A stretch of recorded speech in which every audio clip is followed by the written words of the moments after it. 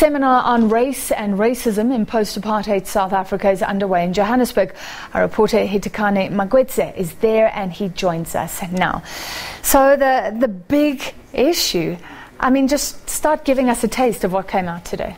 Well, it, it was really a robust uh, conversation and seminar around uh, race and what South Africa has been through in terms of race relations uh, to where it is now. It was really a, a provo- provocative conversation between scholars of uh, uh, uh, race, the, the, the, subject of race, uh, researchers, and, and writers. So the panel was um, included scholars and writers and such, as well as the audience. It was a full, fully attended, rather, seminar which really delved deep into the issues of race. And it, it, it questioned whether uh, the issue of race is really still an issue. Uh, or is it a class issue? Uh, is it a power issue? And, uh, you know, try to dis dissect and draw a line between uh, such issues? Yeah.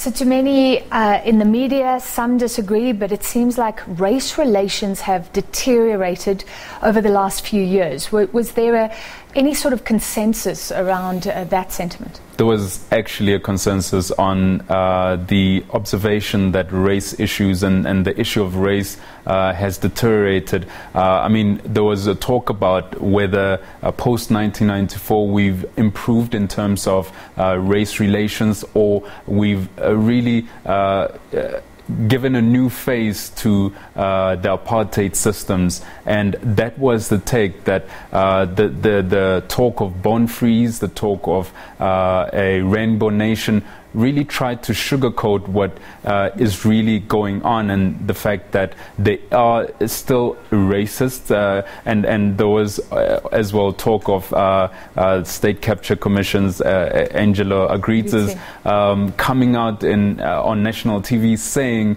almost proudly that he is a racist. And so many other examples that came out that, you know, may be overlooked but are evidence of the fact that there is still a growing issue uh, of, of racism.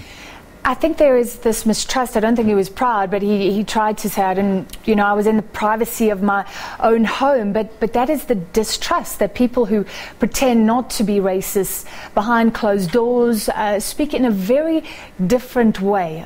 Uh, do you agree with me? There, there's a huge sense of mistrust. Definitely, there is. I mean, uh, you, you, you only have to look at the examples that have come out uh, in the recent past uh, um, of, of people who've, who've uh, thought that they were in the privacy of their own homes or uh, were doing videos that they thought wouldn't uh, go viral. Uh, but in essence, that is how people feel in the inside. And uh, it, it, almost seems like they get the shock of their lives when uh, what they say in their private rooms or in the pri- private quarters uh, gets experienced outside and people get to experience and, and respond to that. And th- there is definitely an issue of mistrust. But the other thing that they spoke uh, to quickly was the issue of uh, racism and how uh, political parties uh, will be uh, using that to, uh, in to elections. Yeah, exactly. Of course.